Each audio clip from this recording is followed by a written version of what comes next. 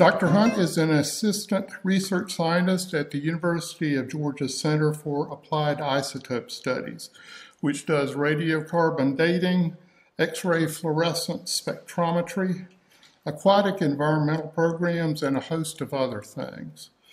Uh, Dr. Hunt is an archaeological materials scientist, petrologist, and geochemist with research interests that include raw materials characterizations, the development of analytical methods for material analysis, and reconstructing ancient technologies.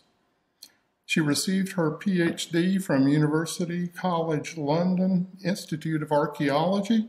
She speaks nine languages and has done field research throughout the Middle and the Near East. She is widely published in academic journals and is the author of the newly published Palaceware Across the Neo-Assyrian Imperial Landscape, which is the topic of tonight's talk. Please welcome Dr. Alice Hunt.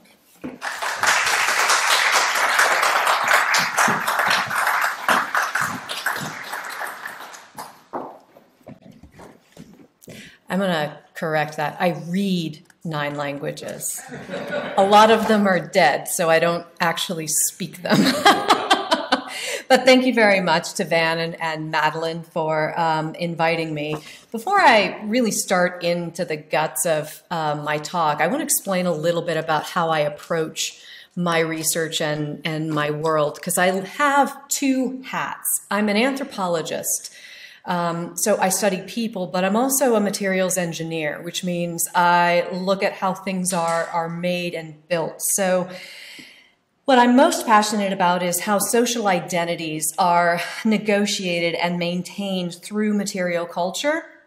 Um, and to get there, I use um, a whole lot of science and a whole lot of numbers and nitpicky little details. Because so I like to have the material speak to me through those chemical and physical attributes and tell me about how they were valued and used by um, their consumers. So what I am going to do tonight, don't be afraid, is give you a whole lot of frosting with just enough cake to hold the frosting together and, and, and have it make some sense. Um, but there will be a quiz at the end. So at its most basic, my talk tonight is about the palaceware problem. Palaceware is an 8th to 7th century BCE drabware or plainware, and quite simply, the palaceware problem is how and why did palaceware occur across the Neo-Assyrian imperial landscape? Now, most imperial and colonial interactions are in some way constructed based on world systems theory, which is a model of economic interaction. The core are the rich technologically developed countries. The periphery are the poor dependent economically dependent countries, and the semi-periphery are these semi-developed, semi-independent countries. However, we're talking about a pre-industrial context, so the descriptions could be modified to an international economy and an international political identity, local economies and local politics, and national but not quite international identities. According to world systems theory, high prestige goods or materials move from the core where they're manufactured to these other regions, either because they are exchanged in the semi-periphery or because they are emulated in the periphery. Thus, there is the equation of core material culture equals core identity. There is value to this model. And it does offer an explanation for the presence of palace ware across the Assyrian landscape. However, it's problematic because world systems theory is connected to dependence theory, which means that the core is dependent upon an underdeveloped periphery, and the periphery is dependent on the core for economic stability. During the time period we're talking about, Although these borders will shift and change throughout time, every one of the regions highlighted in blue was an independent national or international economic and political identity.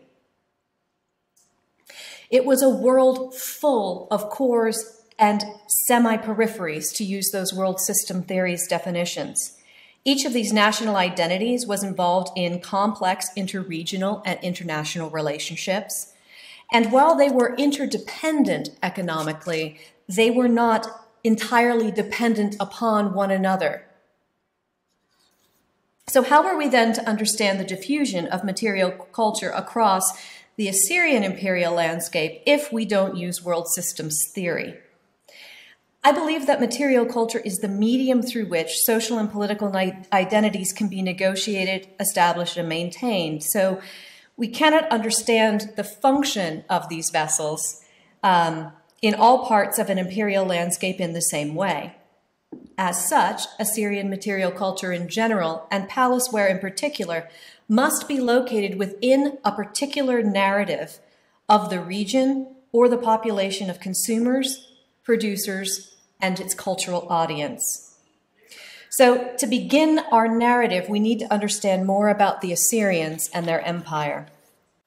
Assyria first became a political cultural identity tied to a specific geography, because there's a difference between the land and the cultural identity or the political identity, particularly in the Near East. Um, land changes hands frequently, but cultural identities stay the same. Beginning of the 19th century BCE, geographically, Assyria is located in northern Mesopotamia in what is modern Iraq and Kurdistan um, Mosul and Arbil are two of the ancient cities that um, we can still locate on the map. The Middle and Bronze Ages were a turbulent time in the Middle East in general, and while Assyria remained a player on the political scene, the, uh, the it experienced about two to three hundred years of instability um, before regaining its independence, where it was occupied by the Arameans. The transition between the late Bronze and early Iron Age was marked by a dramatic climactic change as well. Much of the Middle Assyrian territorial holdings were lost, and at the start of the Neo Assyrian period, Assyria had been reduced to its original geographic region, what I will refer to as the home provinces. And on your handout, those home provinces are marked in the dark blue color. Those provinces were territories were geographies that were always culturally and politically Assyrian. Unlike many other Eastern uh, cultures, the Assyrian king was not a god or divine in any way. Rather, he was simply a high priest and the representative of the god Ashur on earth. The word Assyrian actually means of Ashur. The role as high priest, the king was required to extend the power and the might of Ashur.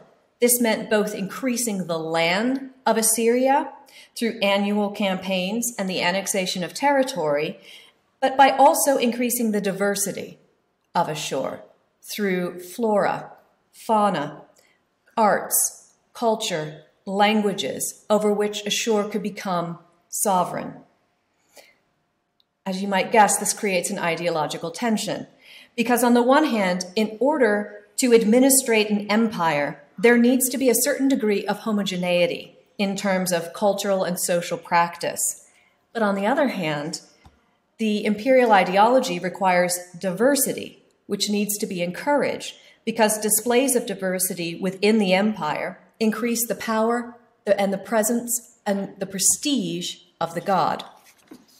For example, um, public gardens were set up um, at most of the imperial capital cities, and there were gardeners imported to care for the diversity of exotic flora and fauna throughout the empire. Here's a drawing kind of emphasizing one of these gardens. Now, these types of, of gardens are probably what um, is later referred to as those hanging gardens in Babylon. The Neo Babylonians took over took over this model. Tribute could also be paid in the form of exotic animals and plants, um, which were also, these menagerie were also displayed for public consumption uh, throughout the empire. And this is actually from a palace relief from Nimrud. Um, so these are monkeys being brought uh, from Arabia. But the ideology of conspicuous consumption was an integral part of all aspects of Assyrian imperial ideology. From public architecture, this is the Ashur Gate at the city of Ashur, and this is the Nergal Gate at the city of Nineveh, to the elaborative decoration of imperial spaces, including carved pavements, molded and sculpted walls, glazed brick tiles, and column knobs. and color. Assyrian imperial and administrative buildings were kaleidoscopes of color in a fairly uniform world of desert greens and browns. Although most of the glazed bricks are faded and corroded, chemical analysis of the colorants enables us to reconstruct the brilliance of these copper and cobalt blues, the lead antimony yellows, and the iron reds. Even everyday objects such as cups and water jars, were glazed in brilliant colors. And the empire was not without luxury and luxury goods ivory backed chairs, ivory plaques, gold drinking cups, jars carved from precious stones and glass. Which brings us back to the palaceware problem. Of all the beautiful color luxury and everyday goods available in Assyria, why is it these drabware vessels that are valued in and across such a landscape of conspicuous consumption? The spread of palaceware across the imperial landscape and beyond is correlated with the annexation of territory into the empire or provincial system all of Assyria was organized into these administrative provinces with its own governor, treasurer, military, and economic bureaus. The spread of palaceware has been interpreted as the imposition of imperial material culture on the annexed provinces and or understood as the Assyrian material culture being brought with provincial governors. But these interpretations are based on world systems theory. And as we talked about earlier, world systems theory doesn't quite fit the situation we have going on in the Near East at the time. Instead, we need to look at a recursive narrative driven approach, seeing material culture as an imposition of identity, understands that it, but understand that it instead that it is a medium through which identity can be negotiated. In this study, we are going to focus and explore the narratives of two of the annexed provinces, or more specifically, their capital cities, Guzana and Dur-Katlimmu, and one site outside of the Neo-Assyrian imperial system, Tel Jemmeh. Each of these cities has a very different and unique relationship and history with the Assyrian Empire. The three home provinces discussed are Ashur, Nimrud, and Nineveh. Ashur is the one on the bottom, and then they go Nimrud, Nineveh as you work your way up. Um, but all of these cities are roughly the same size, which is why they make for an interesting, interesting comparison. So how are we going to talk about social value meaning and take a narrative approach when we're studying pottery? Well, first, we need to think about what are the potential mechanisms that could have transported the pottery throughout the empire. And the, it could have moved as an object, either by trade or by having been carried by one of the provincial governors. The consumers of the vessels could have moved to a new location, requiring their production in the new location. The producers, the potters themselves, may have been itinerant and may have moved throughout the empire, thus producing palaceware wherever they went. Or it could have traveled as an idea or social practice. Hey, when I was visiting over in uh, Nimrud, they had this really cool thing. I'm wondering if you could make something like that. The easiest of these mechanisms to test from a material science point of view is the movement of the object itself. And that's because a raw material has kind of a, a, chemical and, and mineralogical signature. So materials made from the same, pots made from the same raw materials will have similar signatures. Pots made from different raw material sources will often have different chemical signatures. When we look at the bulk chemical analysis of the uh, palaceware, we find that it was not traded but was always locally manufactured. In fact, even in the home provinces, things split apart. And we can see that where we could expect one workshop for Nimrud and Nineveh, we actually have what look like three local workshops within those two cities. So, if it didn't move as an object, that leaves us with consumers, producers, and social practice. So, to evaluate these mechanisms, we need to take a closer look at the palaceware itself, how it was made, and what its formal and fabric characteristics are. Part of the palaceware problem is the fact that no definitional criteria exist or existed for palaceware until my book. So, what does it mean to be palaceware? In order to identify uh, the identity and meaning that these vessels had for their, for their consumers, the criteria need not just be unique to the vessel themselves, but be intentionally created by that cultural audience. So you see the difference here? It's not simply that it needs to have some feature that only it has and no other bowl has, because that feature could be an accident of something else they were trying to do. We need to find a way to discover the intentionality of that particular characteristic being reproduced. It's not easy. One of the ways we get at that, however, is through morphometric analysis. Morphometric analysis is simply the formal description of objects based on measures of height, width, and angle. So here are some of the types of places where I would take metrics uh, rim diameter, neck diameter, vessel height, body height, shoulder angle, base body interaction angle, the angle that the lip comes off the rim. Lots of numbers. An important metric for our particular analysis is capacity, which in this case I calculated as the sum of a series of frustums, which are uh, conic sections as opposed to traditional cylinders. And that's because the shape, the conic shape, fits the vessel shape much better. And so it gives me a, a tighter, more accurate number. Attributes, morphometric attributes that are naturally related, things like body length and vessel height.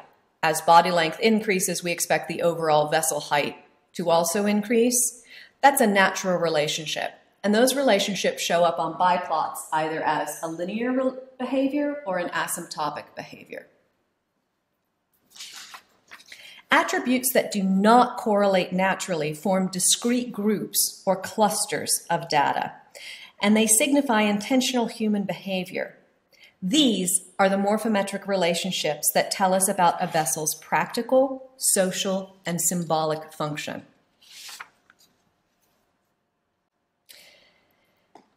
Palaceware vessels were extremely well made and uniform. Typically, in a complex society, vessels are considered standardized if the variability in the morphometric measurements from vessels within multiple workshops, just humor me on this, is less than two standard deviations of the variability of morphometrics from a single workshop. So basically, it's standardized if the variability between workshops isn't significantly greater than the variability in a single workshop. In the case of palaceware, there is no statistically detectable difference between palaceware made anywhere in those home provinces, between those three cities and potentially the two workshops uh, in the one city.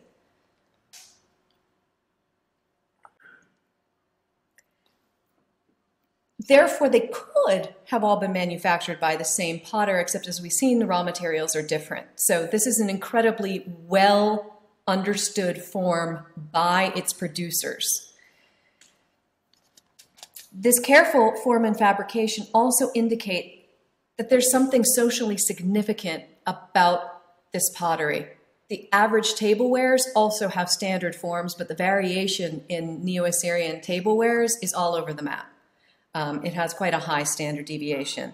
So there's something specific about this ware. And these three attributes that I have here, neck length, body length, and capacity, enabled us to identify three basic palace palaceware forms bowls, cups, and jars, each with several subforms. This limited range of forms is interesting, particularly since none of them are unique to the Neo-Assyrian period, except perhaps the form A bowls. All the rest of these are standard Assyrian forms that date back to the Middle Assyrian period. What is unique is the combination of palaceware form and fabric. These vessels, unlike typical Assyrian vessels, are incredibly thin. They're referred to as eggshell thin in the oldest literature. The mode is 0.2 centimeters. So just, I mean, they're incredibly, incredibly fine grained. It is extremely difficult to produce a vessel this thin. What they would have done is thrown a form and then thinned it out, putting it back on the wheel. And to thin it to this thickness, this tiny thickness on a wheel without the vessel failing, without either getting the rib through the vessel wall or having the vessel collapse, is took incredible skill. Not to mention the fact that the thinner the vessel is, the more difficult it is to fire. The fabric of these vessels is incredibly fine grained. I know that most of you aren't used to looking at micrographs, so take my word for it. This is an incredibly fine grained vessel. What you see as white here, those aren't inclusions. Those are that's just pore space. There are hardly any mineral inclusions at all um, in this in this fabric. And you can see from this graph down here um, that there's a truncation in size of particles that are in the vessels. This indicates human behavior. Even a really, really fine-grained natural sediment has, you know, multiple modes and it kind of dribbles down nicely. This drops off, absolutely cuts off at around the small sand and, and silt size. And that indicates that the raw materials were probably processed through what's called sedimentation. They were mixed with water, put in a tank, and the heavy particles allowed to settle to the bottom. Palaceware, these clays are a calcareous raw material. They occur in the buff and green colors only.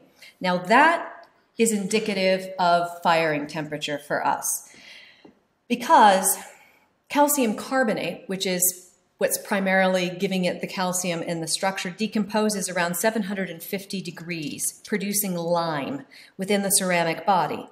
That forms white calcium silicates or pale yellow calcium ferrosilicates at about 1,000 degrees Celsius. It vitrifies into that pale green color at about 1,100 degrees Celsius. The trick is calcareous ceramics, if anyone's a potter in here, you know that calcareous materials are tough. They are structurally incredibly stable until about 1050 when all of a sudden they collapse. So you won't know you're in trouble as the vessel vitrifies, vitrifies, vitrifies, and then all of a sudden it'll slump in your kiln. Um, so calcareous clays are tough. So the skill required to produce this color and to intentionally keep reproducing this difficult color over and over again seems to indicate that there's something socially significant about this buff green color. The degree of vitrification shown by this diagnostic kind of honeycomb texture of palaceware fabrics confirms the high degree of pyrotechnical control and a firing temperature of between 1050 and 1100 degrees Celsius. For comparison, Typical Neo-Assyrian tablewares were only fired to about 850. Another indication of the social significance of this material is that given the size and efficiency of Neo-Assyrian kilns, based on the excavated examples, it would require 3.5 kilograms of biomass fuel. That's dung, wood, chaff, some kind of bio-based fuel per kilogram of ceramic material to reach and maintain a firing temperature of 1100 degrees Celsius. The average heating chamber floor was 3.4 meters squared, making the average palace palaceware load potentially up to 17 kilograms of ceramic material. Therefore, it would require approximately 133 pounds of fuel to fire a kiln full of palaceware to reach and maintain the temperature necessary to generate that color and those vitrification features. So, why are the Assyrians investing time and money into the manufacture of these drabwares when there are so many flashy, really cool things they could be investing their time and energy in otherwise? I believe the answer to that is the particular social function and symbolic value of these vessels. One of the most striking characteristics of palaceware is that it, it occurs in discrete volume clusters. Two of the forms, Form A bowls and Form B cups overlap in volume. As you can see, we've got two different forms here, and they have pretty similar volumes. Generally, since form follows function, the form of palaceware suggests that they were drinking vessels involved in the consumption of liquids, which would also be consistent with a highly vitrified fabric because that would provide an impermeable boundary. These particular volumes are socially significant is indicated by their compatibility with Neo-Assyrian liquid measures, the kasu and the ku, known from the cuneiform literature and particularly the Nimrud, Nimrud wine lists, where these particular six kasu, two ku are mentioned repeatedly. In the iconography, as we can see, palaceware forms are being used for the consumption of liquids and beverages, but why would you need two different forms to serve the same function? The answer is social practice and, and, and cultural acceptability.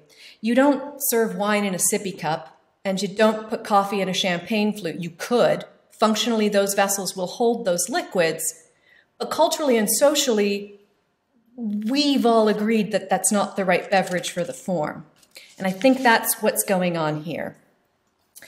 In the home provinces, I think that Palaceware Form A was given to the imperial administrators as honor gifts at royal banquets in a material suitable to their rank.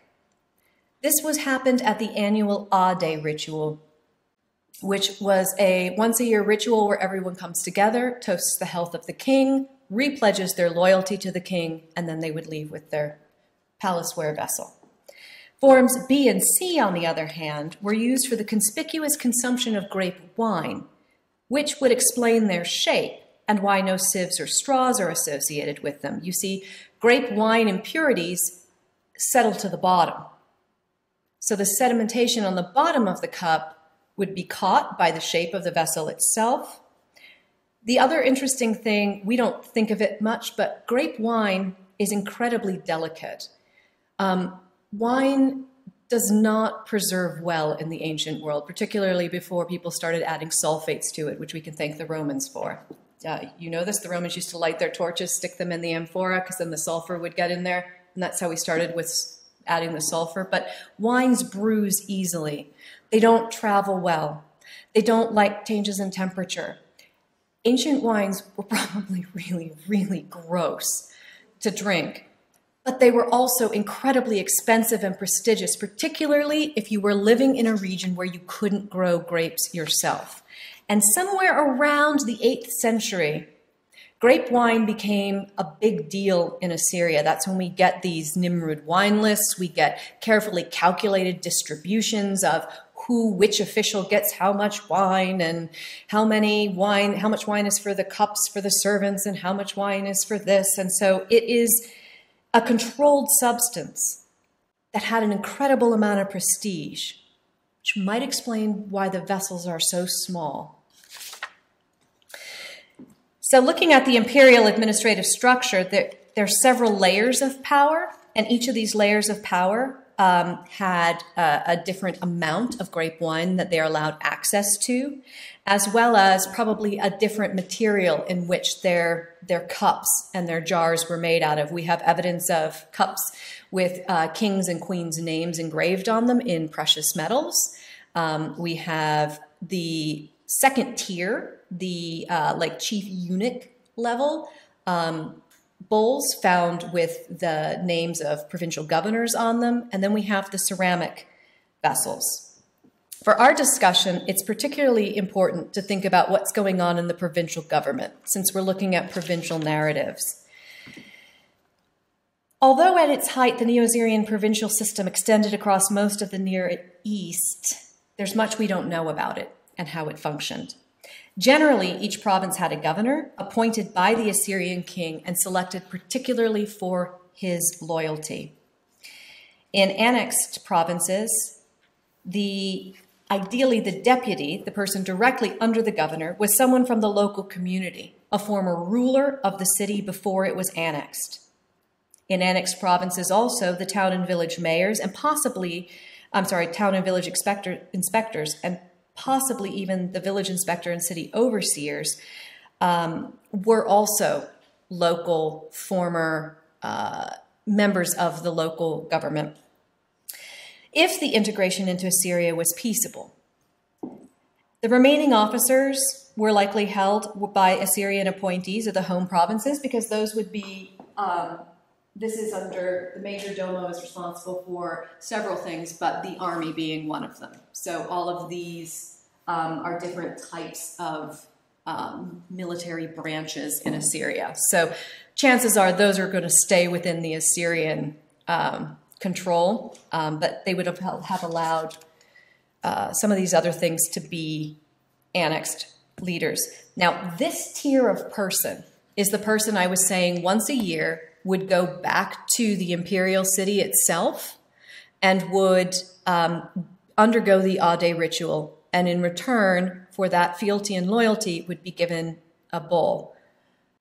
I think I have time for a little side note. I'm just going to tell you a cute little story. The brilliant thing about working in a literate culture is you get all these great little, like, personal anecdotes.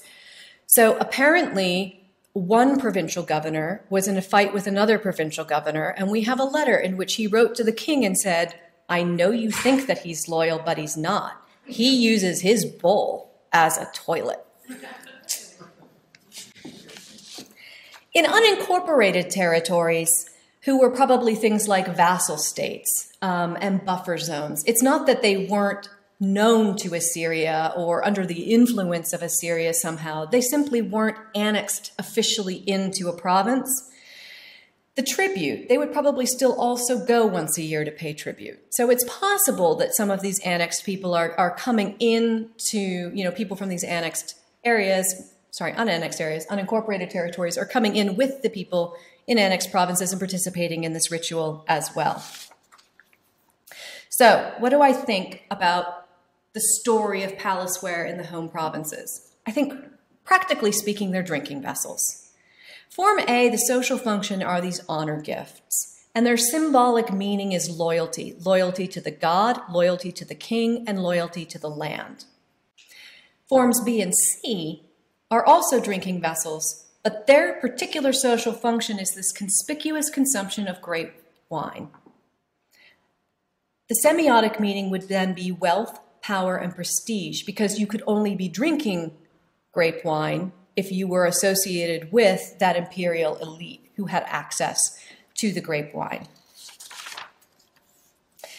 So, what does palaceware mean for its cultural audience, consumers, and producers in these annexed provinces? What are their narratives? So, the narrative of Dur-Katlimmu starts like this. Dur-Katlimmu was located in the Rasapa or Nergal Erish province of the Neo-Assyrian Empire until the reign of Tiglath-Pileser III in the late 8th century. For those of you who don't know Tiglath-Pileser, he was a rather insecure man and so decided to redistribute power. Having a province this large near his imperial core made him incredibly nervous since the way he took over as king was a little sketchy. So, to redistribute power and attempt to stabilize his southern empire, he divided Rasapa, and Limu became part of Laqe. The city itself served as a provincial capital during the Middle Assyrian period and would have housed a regional governor. It has a cuneiform archive. And during the late Assyrian period, it's probable that the role of Limu was that of some kind of administrative center, if not the provincial capital itself. This means that whoever was living in Dur-Katlimmu would have been aware of this political instability, this relationship, that once we'd all been together and then we were separated by the king. And I think that that concept plays a huge role in what we see going on with the palaceware here. Generally, the palaceware is similar to the palaceware from the home provinces in terms of their overall shape. However, they are more elaborately decorated than those in the home provinces. In addition, the vessels are subtly larger. They have longer necks and bodies. And yet, their overall capacity measurements stay pretty much the same. So they've managed to make things taller and bigger, more conspicuous, but they can't change that social value of those capacity measurements are important. And so th those have been maintained, suggesting that the social function is requiring that same specific capacity, but that the symbolic or semiotic meaning of these vessels for its cultural audience required more elaborate presentation. The fabric is fine grained. It, it is fine grained. um, and the, the difference in the trunk, I want you to see that. The difference in the truncation here, it's still highly truncated. It's just that the raw material started off um, chunkier, so there was more there was more in it to work with. The fact that it isn't exactly the same fabric as the home provinces is just a reflection of this difference in, in raw material. The behavior of, of processing this raw material remained the same.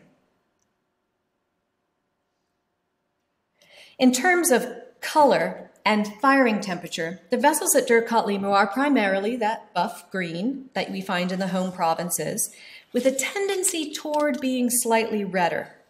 This may indicate that the producers of these vessels had less pyrotechnical expertise, or that the color was not as meaningful a part of palaceware's social and symbolic value at Dur-Katlimmu as it was in the central polity.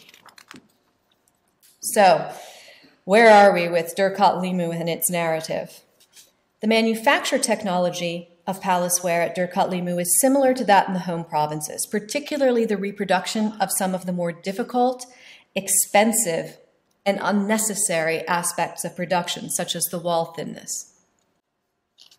Morphometrically, the vessels are different from those in the home provinces, with bodies and necks larger than expected, while at the same time maintaining the socially significant capacity measurement. So, while the social function appears to remain the same, and the meaning of these vessels, the value and meaning of these vessels is requiring a more elaborate presentation. They are more highly decorated. They're they're bigger, not in terms of how much they hold, but physically they've made the vessels bigger and more incredibly decorated. So at Dur-Katlimmu, I think the consumers of these vessels are the provincial administrators, probably from both the home provinces and the local elite. I think the governor probably was sent from central Assyria to Dur-Katlimmu, and he and all of his provincial administrators were very aware that the king wasn't quite sure where their loyalty was at. The cultural audience was, of course, themselves and the provincial citizenry, but also the Assyrian administration. Their eye was on Assyria, and they wanted Assyria's eye on them. Look at us. Look at how conspicuously we are consuming this material culture, showing off the wealth of Assyria. Um, through drinking the, the, the, grape wine and as declaration of loyalty to the Assyrian king.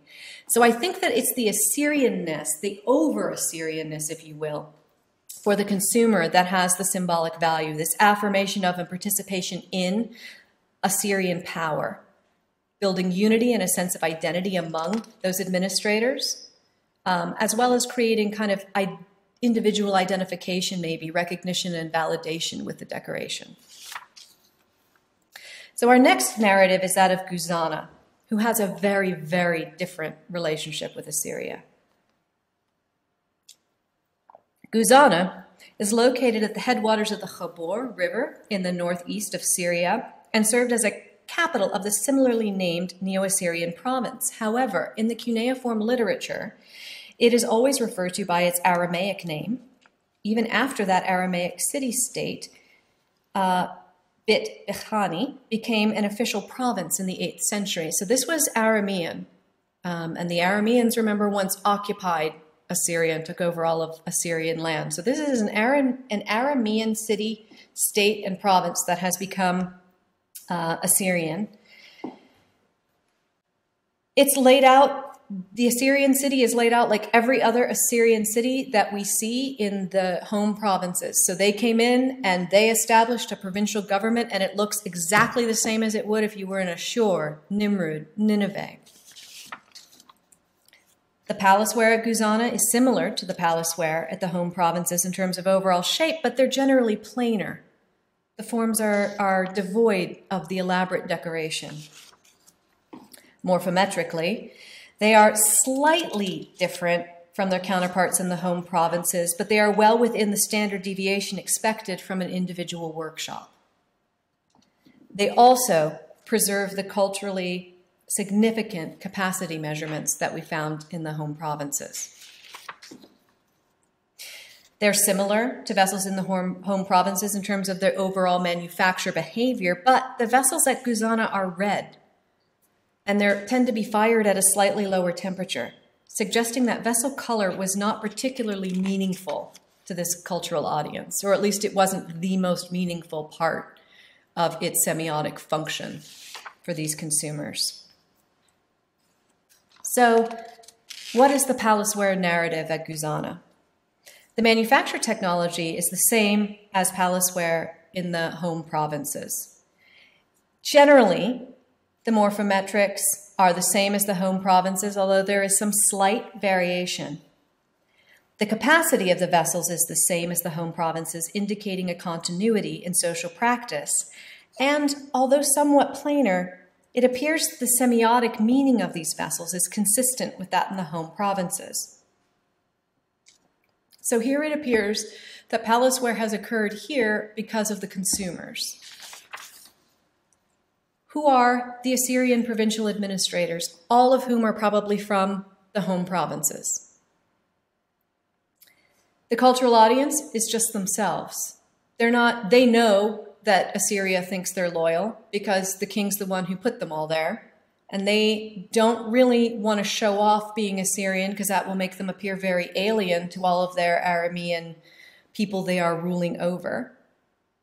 That social function of the conspicuous consumption of great wine is still important. That is a reaffirmation of their power and their unity within the Neo-Assyrian imperial system. However, I think that that loss of decoration, the loss of flashiness is one, both because it's unnecessary, it's already conspicuous enough that they're doing an Assyrian thing in this Aramean province, but also because this is a whole group of men who may not like each other, who've been sent out into the middle of nowhere and have to live together in a potentially hostile environment.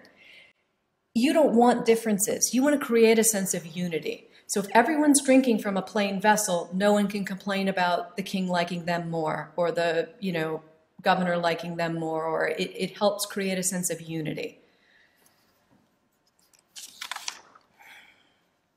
And our last narrative, the most perplexing of the bunch. On a provincial map of Assyria, Tel is down here in this unincorporated region of the Negev along the Gaza Petra trade route, about 10 kilometers southeast of modern Gaza City. The site is approximately five hectare, um, which is a pretty decent size for an ancient city and similar in size to the ones we've been talking about. Throughout its history, Tel Jemmeh sat at a cultural crossroads between Egypt and Mesopotamia, between Arabia and the Mediterranean. Despite appearing off the Neo-Assyrian provincial map, it's important to remember that this was not a backwater. This was a major, located along a major trade route. The palaceware styles at Jemmeh are primarily all type A bowls, and are less palaceware stylish than uh, just Assyrian style in general. Either way, it's interesting because the bowl forms are traditionally associated with imperial provincial administrative fealty and with the provincial system and loyalty to the Assyrian king. So, why would an unincorporated city want to conspicuously demonstrate loyalty to Assyria? Particularly since we know from the text that the Negev and Judah had a complicated and uneasy relationship with Assyria, and continually throughout this time period were playing Assyria and Egypt off each other. It's unlikely then that these bulls were meant to impress Assyria with Jemmeh's loyalty. Besides, if the consumers of these bowls at Jemmeh wanted to impress the Assyrians with their loyalty, it would seem that they would want the vessels to look more similar to those in the home provinces, and these clearly don't. They're just general Assyrian in style and yet not that specific Assyrian palaceware style. So, what then, if anything, are these bowls telling us about Jemmeh and its relationship to Assyria? What was their social function and symbolic meaning? The truth is, I don't know.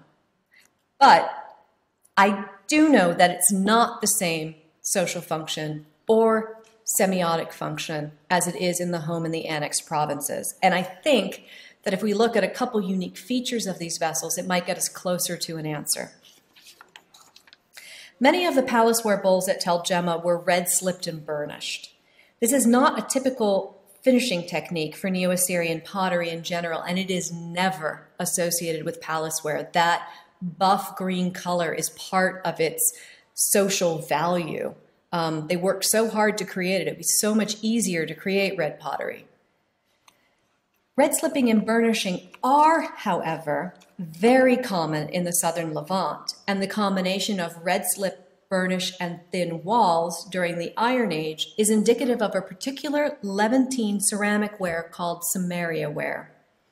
Samaria ware was a prestige good, and the combination of the finishing techniques on these Assyrian style forms suggests that whatever the social value and function of these vessels was, it probably was related to status. The palaceware bowls at Tel Jemmeh were also not fired as high as those in the home provinces, as indicated by their redder fabrics. In the home province, provinces, this layer level of vitrification would have created a kind of an impermeable uh, vessel fabric. So it's possible that at Jemmeh, these lower firing temperatures indicate that that particular performance characteristic wasn't important to the practical or social function of the vessels. Or perhaps it simply means the social value and meaning of these vessels was not related to their color or was related to a red color, hence the red slipping and burnishing.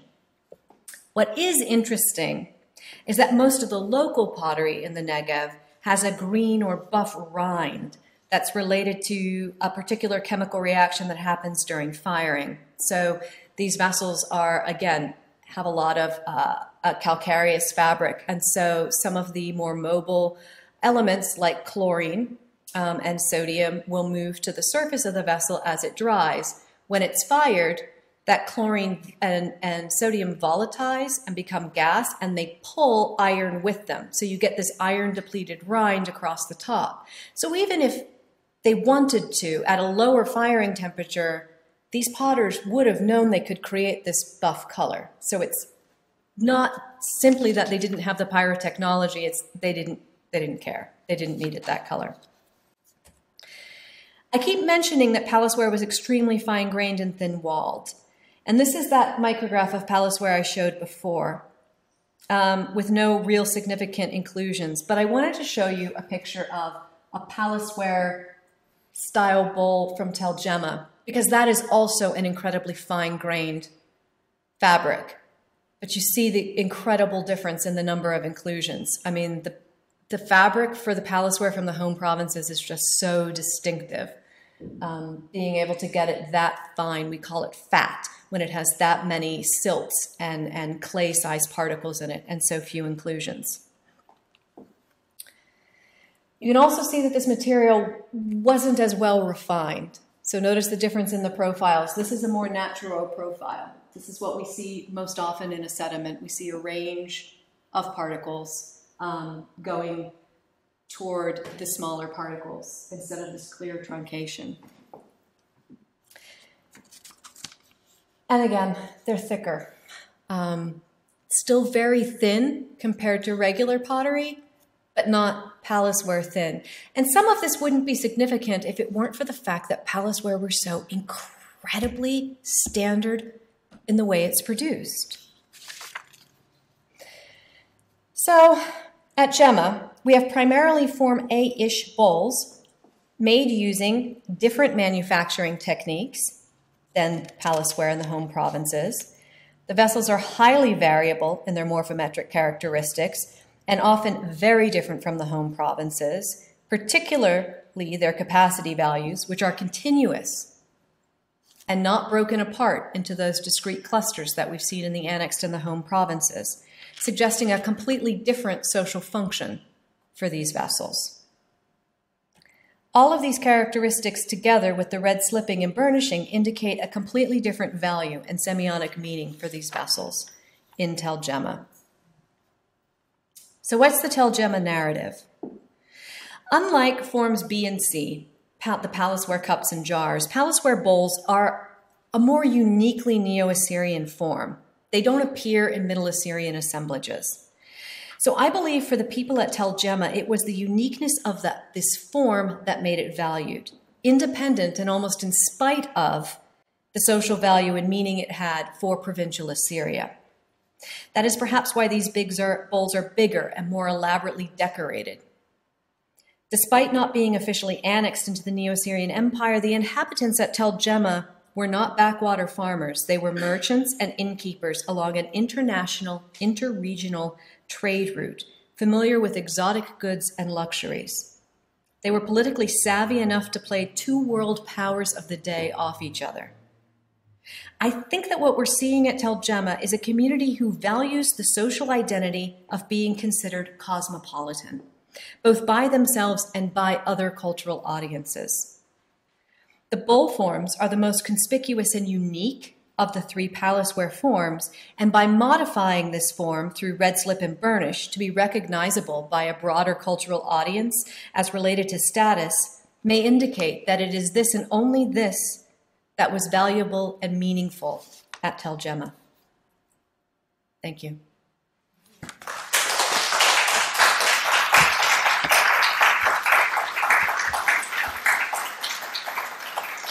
Do we do questions? Yes? Very elementary question. um, Sure. And maybe just because I don't understand volume and shape. But if you said that in the, uh, in some of the provinces, the, the length of the neck was greater and the so, and the length of the total vessel was greater, but the capacity was the same. The only way I can imagine that capacity would be the walls would be bigger. There wasn't that much variation. Right. So So the maximum diameter, right, the maximum diameter stayed the same. They just increased the length. Yeah, so it, it's a they're thinner. They're yeah, narrower. So you've got hold on.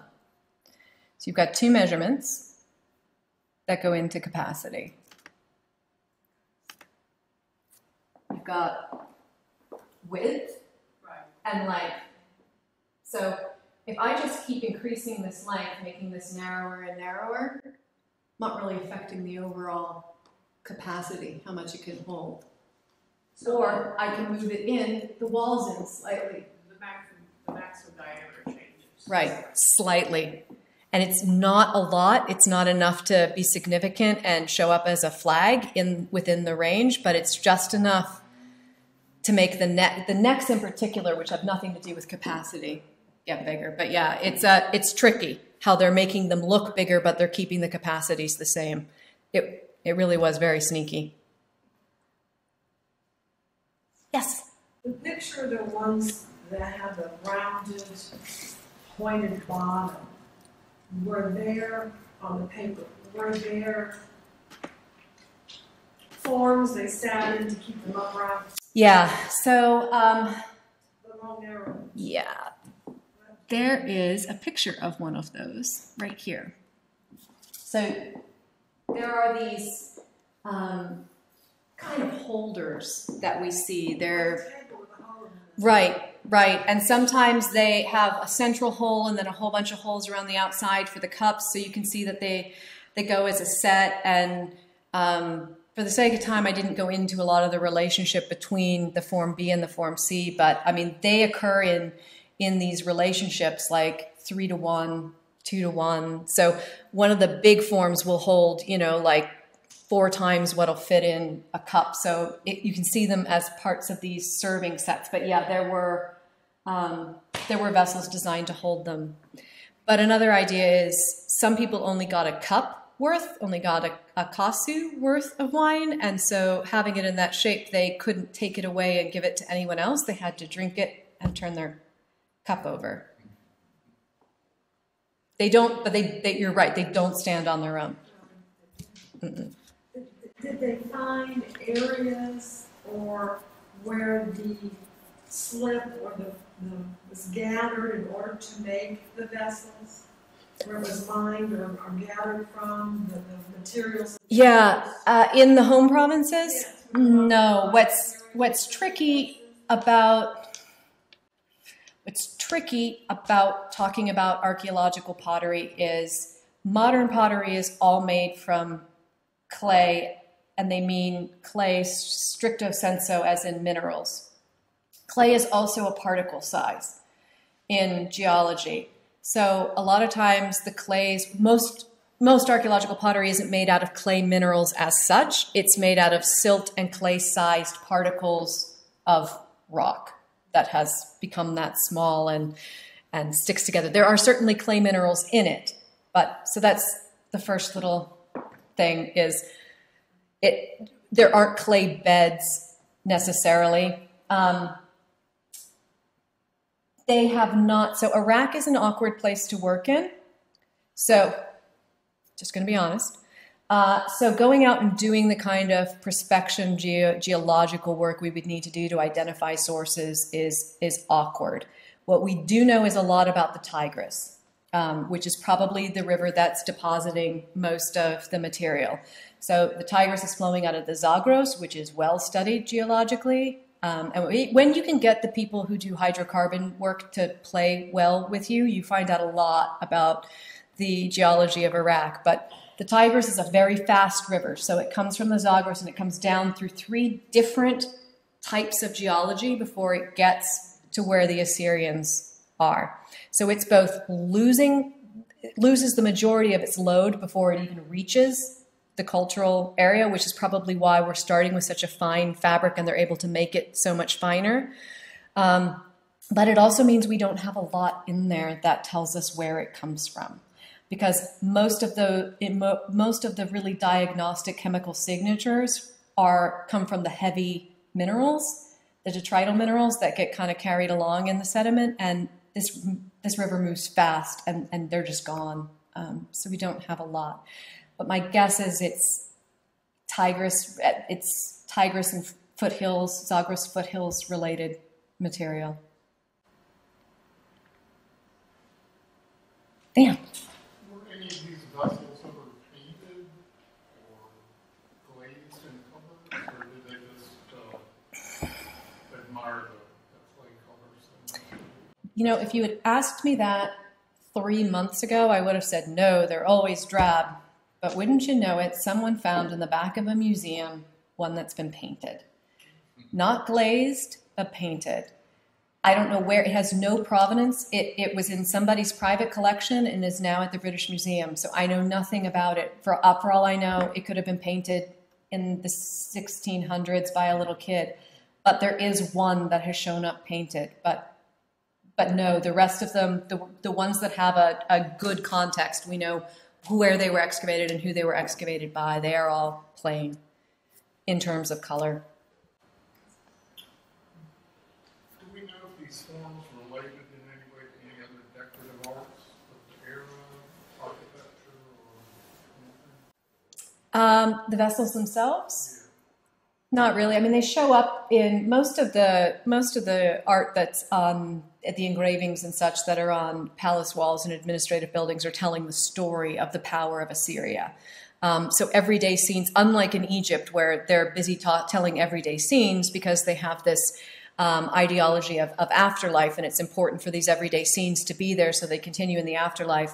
Assyria is all about power, all about power and diversity. So all of their scenes are showing um, either land being conquered, tribute being given, gods protecting the land. Um, so we don't get any everyday just people drinking scene. This this image is actually there's a head. I don't know if you can. I think I might have cropped it. There's a head hanging in those grape in those vines. Um, this is a conquest scene, actually. This is the king coming home from a conquest and toasting his wife in the garden, and the head of his enemy is hanging in the bushes, which I cropped off accidentally. So you can't see it. But so there's not, we don't have an idea of everyday life. And that's a problem with Assyrian and Mesopotamian archaeology, I would say, in general, is because of when people were able to do these excavations, archaeology and treasure hunting were, eh, you know, pretty closely related. And so it was mostly temples and palaces that were excavated, which is fantastic because we have such a rich knowledge of religion and ideology. We know so little about the everyday person.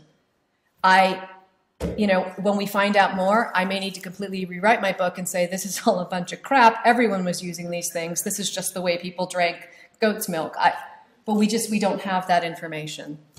And I suppose the way that the furniture would be depicted there could just be a stylization rather than a representation of what it actually looks like. Well, we have some, um, you know, it's easier for me just to do this.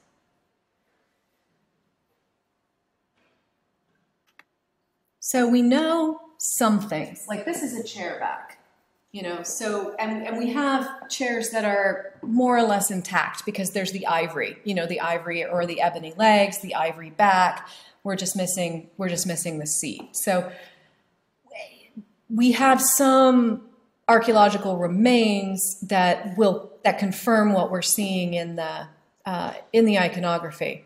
Um, we just, you know, when you when you destroy a place, you take everything that's valuable, that's portable, and all of Assyria was destroyed in 612 by the Persians as they came up. So there's a lot of there's a lot of material culture we're missing. You know, we have no idea how much gold and how much silver and how much bronze were actually used because those metals are always melted down and reused. Um, so we're lucky when we find stuff, it's usually because it was in a burial that no one thought to look under the floor for, that kind of stuff. Mm-hmm. Yeah. Uh, one, uh, in terms of, uh, of the samples that you about, yes, how many, how many pieces do you have that you looked at to make your story? Hundreds Just as many as I could, as many. I took every vessel that was intact enough for all of my measurements at the British Museum, every vessel that was intact enough for my analysis at the Vorderasiatisches Museum, every vessel that was intact enough from the Louvre. Um, so it was, yeah, it's it's a smaller sample size than I than I'd like, but it was everything that was out there because my rule was I needed it. I needed to have a context for it. I needed, for a while, I was, I- and, it's a part of the analysis that I didn't talk about tonight. But sorry, I'm moving away from the mic. Um, I didn't talk about tonight, but I also analyzed where these vessels were located at the cities themselves. Were they in burials? Were they in domestic contexts? Were they in public contexts? So I needed material that had that kind of information. So there are private collectors in in London and in Germany who have large collections of palace ware, but I don't know where that material came from, so I didn't use it. So everything that was available I analyzed, but yeah, it, it comes down to hundreds. It's not thousands. The second question is about uh, making of the materials themselves. You mentioned how uniform it is and how, how quality. So there must have been special people did this. So is there anything in your, in your research to talk about the themselves, their status, and it would be so uniform? They must have been well trained. Yeah. So uh, not necessarily about their. Well, I guess it is related to their status. There, there's some kind of a guild structure, and I hate using the term guild because it makes everyone think of guilds like the medieval guilds, and it's a little different. So, groups of workmen were assigned to different like households or functions. So temples had their own brewers, their own potters, their own bakers, um, who were producing things specifically for that institution.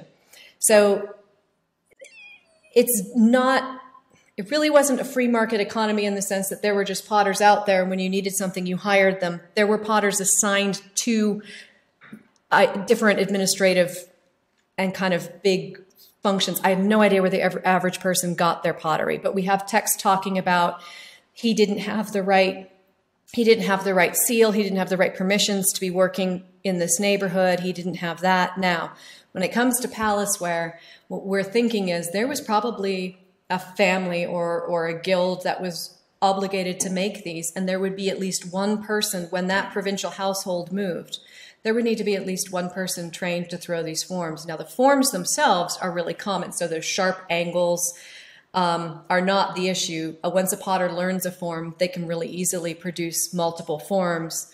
The issue is the thinning and not tearing and that sort of thing. And again, you know, once you have one person, so it's a little sketchy, but we know that there were craftsmen and artisans that were trained in one particular thing and then assigned to administrative bureaus or, or functions. Um, so it's possible and probable that there was one like for the sweets maker or the baker or the brewer who was the palaceware person as opposed to the uh, tablet person or the brick person or the tableware person or beer jar person. Beer jars are another incredibly regularly standardized um, form. That's the best I can do. And most of that's based on the texts. So who knows what gaps are missing? Uh, yeah, um, um, if, uh, if you can answer it, um, uh, uh is uh, the pottery of uh, Assyrian pottery um, more functional or is it artistic? It is more utilitarian.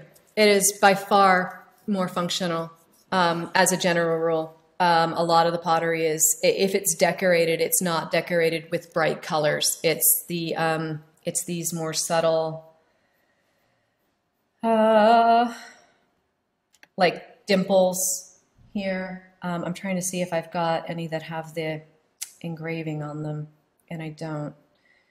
Um, sorry, that must be really difficult to watch me whip around through that. So close your eyes.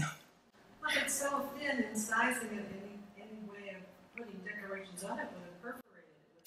Well, you know, somehow they managed to do it. Um, the slide, um, you've got it on your on your sheet. If you look, if you look on your handout, ah, here we go. If you look on your handout, you can see that sometimes there's these.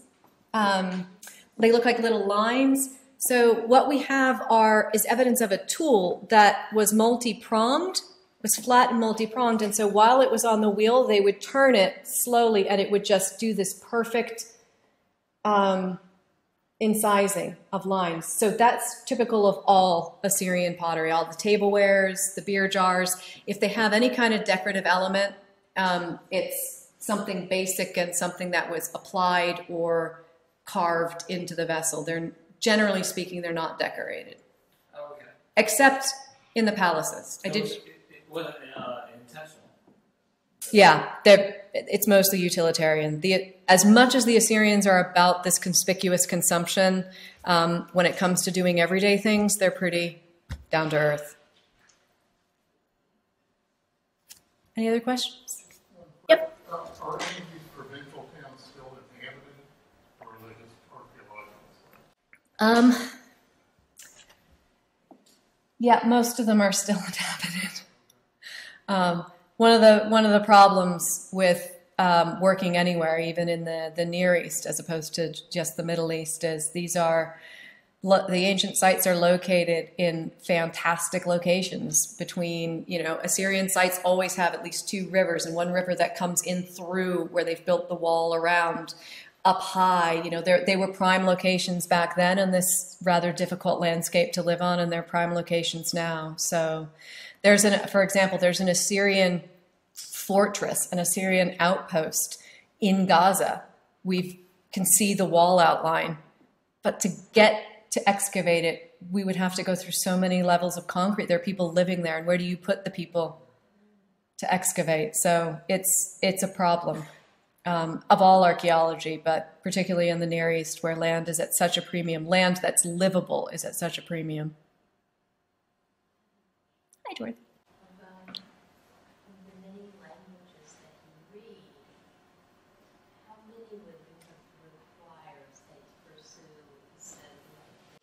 So all of the Semitic languages, so that would include um, all the Akkadian languages, so that's Babylonian, Sumerian, and Assyrian, and then the dialects, the Neo dialects, which are slightly different. Um, Ugaritic. Uh, you need a little bit of Arabic just because there's so much secondary literature written in Arabic. Um, German and French because those are the academic languages of Assyriology. Um, but of the ancient languages, all those Semitic languages Hebrew, Aramaic, Ugaritic, um, Babylonian, Sumerian, and Akkadian.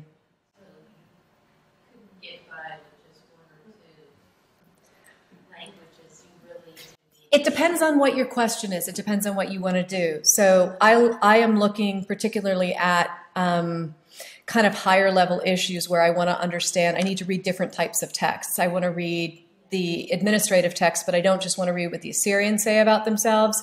I want to read what the Hurrians are saying about the Assyrians, and I want to read what the Arameans are saying about the Assyrians. So perhaps as an archaeologist, if I only was asking questions that dealt with something local, I wouldn't need to, but it was such a an international world. You know, it's a bit like um, it's a bit like only knowing English and traveling around Europe. I do. Um, in London, you undoubtedly have access to amazing ancient texts that you couldn't have that sort of access. Well, I don't have access in the same way. Um, so I work with published texts. I don't. I'm not a linguist, so I would never take an unpublished text and translate it and transliterate it on my own.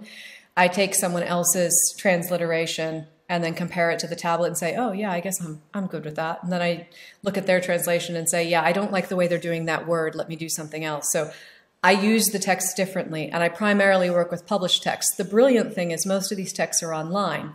There's a lot of money to put the cuneiform texts themselves online in a searchable database. But in terms of library access, yes, I miss the British Museum being a block away. Absolutely It's stunning with this capacity for languages is often separate from the capacity for sciences. I think they're both puzzles.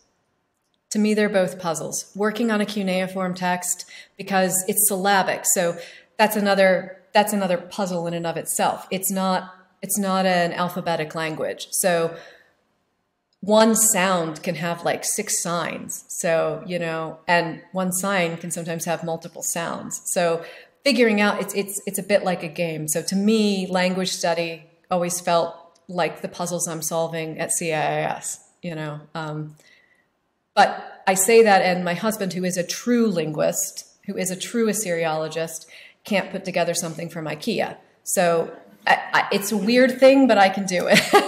but to me, it's a game. It's the challenge. It's the puzzle of the languages. I think.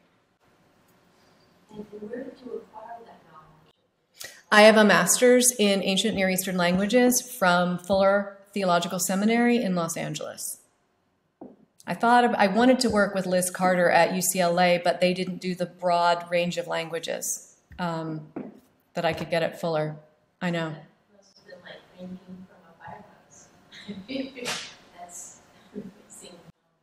the nice thing about languages in one family is once you learn one, it the, makes the acquisition of the other languages easier. It's, I mean, that's the lie they told us all in high school about the Romance languages, right? But it really is true with Semitic languages. The sounds are the same. The words sound the same. They're just written using different characters. Um, but you know, words for, uh, like we just got a puppy, and, and the word for puppy is a Maranu. So my puppy is Marani, and that is true in Assyrian, in Babylonian, in Sumerian, and in Ugaritic. That Maranu sound, the, the, that those two syllables, even though they're written differently alphabetically in Ugaritic, the sound stays the same in the other languages. So there's a lot of words that are the same, they just have a different script, if you will. Anything else? So how do you search cuneiform languages online?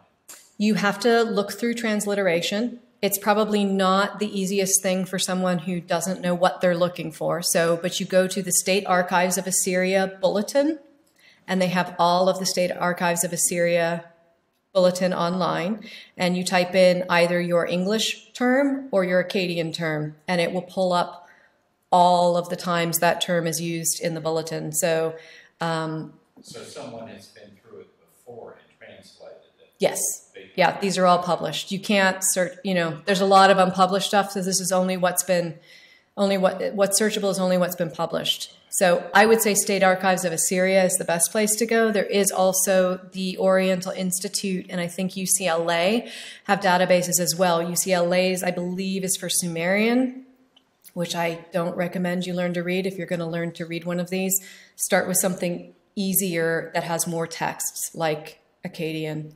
Um, actually, the easiest one to start with is Ugaritic, between you and me, because it's alphabetic. So it's an easy way to get into looking at cuneiform and starting to read the language, um, and then moving on to to Akkadian. In case you were, in case you wanted to study study these languages, but that's how you would do it. But there are they're all published texts, but they're they are out there. Anything else? Great. Well, thank you for your attention.